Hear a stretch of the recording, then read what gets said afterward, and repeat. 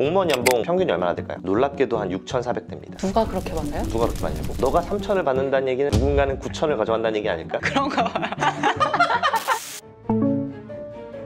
내가 대학교를 졸업하던 2013년도에서 2014년도만 해도 청년들이 꼽는 최고의 직업은 공무원이었다. 그런데 10년이 지난 지금 그 명성은 많이 시들해졌다. 공무원 시험 경쟁률은 무려 3배 이상 떨어졌고 많은 언론이 최근 청년층 MZ세대가 공무원을 기피하고 있다고 앞다퉈 보도하고 있다. 연금 박살난 지가 언젠데 여러분 공무원 연금 국민연금보다 안 좋습니다. 공무원 연금 없애주시고 퇴직금을 주세요. 퇴직금. 퇴직금은 줘야 될 거 아니야. 가장 큰 장점으로 꼽히던 공무원 연금이 적자로 인해 불안해진 탓일까? 너무 적다고 사람들이 말하는 임금 때문일까? 아니, 단순히 금전적 보상의 문제일까?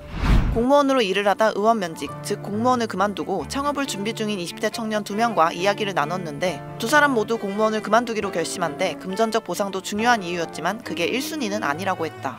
제가 지방사무소로 발령을 받아서 가게 되었는데 그 사무소가 저희 집에서 멀어서 제가 방을 사무소 근처에 구했어요. 그러고 이제 출근, 첫 출근을 했는데 그 당일에 다른 지역에서 일을 해야 된다고 통보를 받은 거예요. 어떻게 어떻게 결정됐다더라 뭐 이렇게 결정 과정이란 거야? 그런 거를 정확하게 들어본 적이 없어. 위쪽에서 결정이 돼서 내려오거나 하는 상황이니까 시키면 당연히 해야지 이런 분위기여가지고 1년 6개월 동안 근무지를 다섯 번이나 옮겼지만 그때마다 이유를 명확히 들을 수 없었다는 연주 씨. 진희 씨도 업무 지시를 받을 때마다 항상 그 이유나 목표에 대해 뚜렷한 설명을 듣지 못해 아쉽다고 했다. 전혀 설명이 없어요. 그냥 해야 되는 건 거예요. 제가 의견을 낼 수 있는 그런 환경이 아니어서 사실 시키는 대로 그냥 지시 받는 대로만 그렇게 일을 했었던 분위기였거든요. 그래서 그런 좀 수직적인 게 좀 저는 적응하기가 많이 힘들었었어요. 새로운 곳에 출근하게 되거나 어떤 업무를 지시받을 때 당사자는 그 이유를 알 수 없는 상황.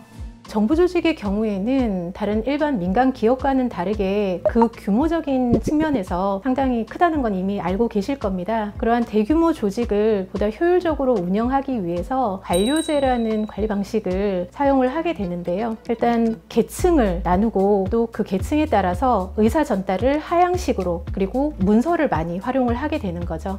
피라미드처럼 계급을 나누어 위에서 아래로 일괄적으로 문서를 통해 수직적으로 소통하는 구조인 관료제. 조직을 안정적으로 운영할 수 있는 효율적인 방법이지만 그러다 보니 이 상명하복식, 뭐 연공서열식 그런 조직 문화들이 아직까지는 많이 남아있는 편입니다. 내가 무엇을 위해서 이 일을 하고 있는 거고 왜 하고 있는 걸까? MZ세대 공무원들에게 이 일을 왜 해야 하는지 또 누가 해야 하는지 이런 부분들이 명확하게 전달이 되지 못한 부분이 없지 않아 있었던 것 같아요.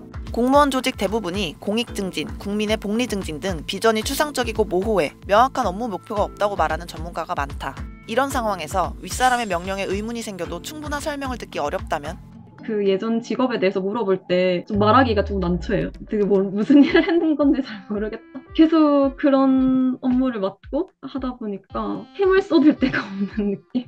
저도 그랬고 그 요즘 그 청년분들은 그 일에 대한 동기를 되게 중요하게 생각하시는 것 같아요. 어떤 일을 할 때도 그냥 해가 아니고 이 일을 내가 왜 해야 되는지에 대해서 충분히 좀 설명을 듣기를 원하시고 어, 내가 이런 일까지 해야 할까? 왜 해야 할까? 내가 이 일에 대해서 제대로 보상은 받고 있는 걸까? 받을 수 있을까? 이런 부분에 대한 부분이 사실 MZ세대가 공직을 다시 생각하고 또 혹은 공직을 떠날까? 이렇게 고민하게 만드는 부분인 것 같습니다.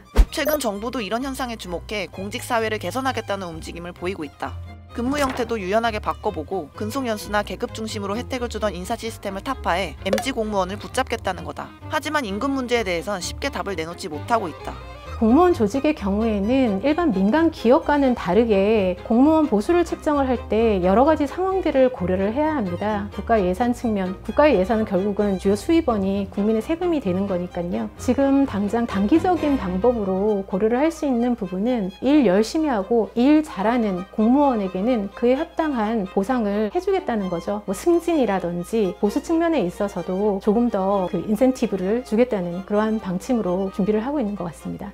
지금 겪는 진통이 MZ세대만의 문제일까? 많은 전문가는 정부가 MZ세대에만 매몰되는 것도 경계해야 한다고 이야기한다. 단순히 세대의 문제로만 이해할 것이 아니라 근본적인 공직사회 개선은 필요한 것으로 보입니다. 명확한 업무 지시, 그리고 명확한 업무에 대한 안내, 소통, 위계적인 조직 문화, 그리고 수직적인 조직 문화, 경직적인 조직 문화, 이런 부분들을 조금 더 혁신적이고 개방적으로 개선할 필요가 있을 것 같습니다.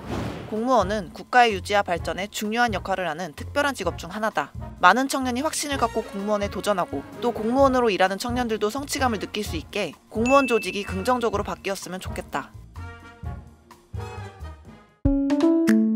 이번 영상을 만든 PD가 추천하는 영상도 보고 가세요.